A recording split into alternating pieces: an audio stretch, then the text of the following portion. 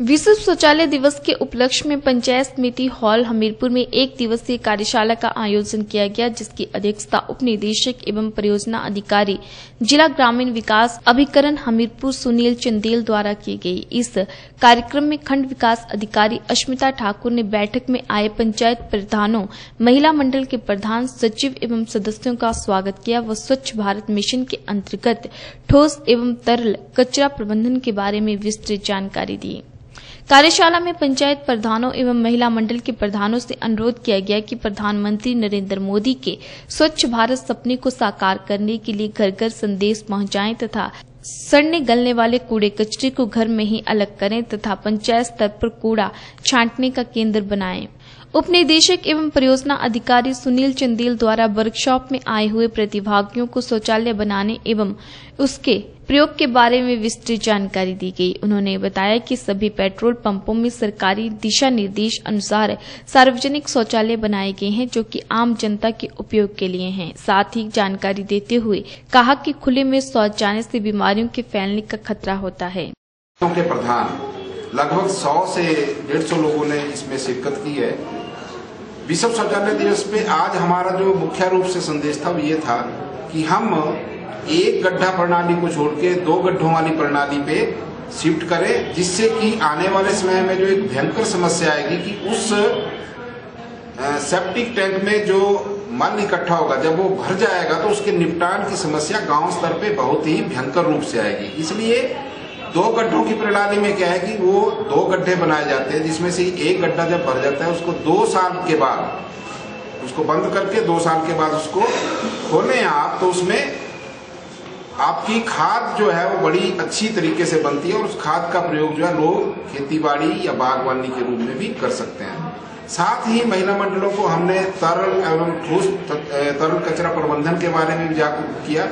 ग्राम पंचायतों से आई हुई महिलाओं ने बताया कि विश्व शौचालय दिवस के अवसर पर सभी ने संकल्प लिया है कि लोगों को जागरूक करेंगे। उन्होंने बताया कि महिला मंडल की महिलाओं के द्वारा अपने आसपास और लोगों को शौचालय के बारे में जानकारी दी जाएगी। तो शौचालय मुक्त जो है, हमारा हिमाचल जो है, उसके ऊपर चर्चा की गई।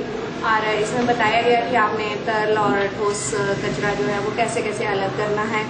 और इसमें जो मुख्य है कि ऐसे तो सभी घरों में शौचालय जो बनाए गए हैं, पर जो हमारे जैसे किराएदार किसी ने रखे हुए हैं तो उनके लिए अलग से टॉयलेट तो बने हुए हैं बट फिर भी जो किचन का तरल होता है, उसके लिए कोई प्रबंध जो है, वो नहीं किया गया है। इसमें भूमिका ये है कि महिलाएँ जो है, वो महिला मंडल में जो महिलाएँ होती हैं, वो गाँव की महिलाएँ होती हैं। तो अगर सभी अपने अपने घर में अच्छे से इसका प्रबंध करेंगे तो नेचुरली है कि वो सभी गाँव जो है, वो शौचालय जो है, उनके बने हुए हैं, और वो मतलब साफ़ सफ़ाई जो है, वो अच्छे ढंग से हो जाएगी। कार्यशाला रखी है विश्व शौचालय दिवस मनाया जा रहा है। इसमें हमें वीडियो मैडम ने ये बताया, हमने ये दो फिट वाला गड्ढा बनाने के लिए, जो सबसे अच्छा रहता है। क्योंकि जब ये एक गड्ढा भर जाता तो दूसरे में चालू कर देते हैं। ये हमारी फोर एवर चलेगा ये गड्ढा। दूसरे जो गड्ढे हैं, जो बने हुए हैं हमारे, वो उनकी भरने की आशंका रहती है, जो इकट्ठा होता है। उसको साफ़ करने में भी दिक्कत आएगी, क्योंकि कोई लोग बाहर फेंकने नहीं देंगे। इसलिए ये जो गड्ढे हैं, दूसरे हैं दो पिट वाले, ये सबसे बेस्ट है। और ये हमें ये बताया जो तरल पदार्थ जो हैं और दूसरा ठोस और तरल पदार्थ के बारे में ये कैसे कैसे इसका प्रबंध किया जाए।